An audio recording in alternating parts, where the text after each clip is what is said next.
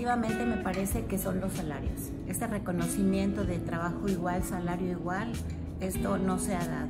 Y cada vez ellas tienen más responsabilidad. También por la parte del gobierno deberían de hacerse políticas que no solamente apoyen a las madres solteras o jefas de familia, sino que busquen detonar en ellas todo su potencial y que se dé el lugar que les corresponde en la sociedad.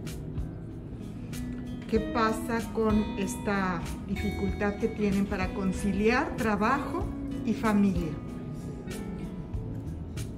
¿Cuál es el reto mayúsculo? Que me parece que cuando ellas van eh, siendo, estudian y van siendo profesionistas, últimamente en estos años, en este cambio de época, se ha relegado mucho la formación de la familia, pero en otros sectores más vulnerables se ha apresurado mucho en que ellas tengan hijos normalmente solo, solas o que tienen pareja y después las, las dejan con toda la responsabilidad.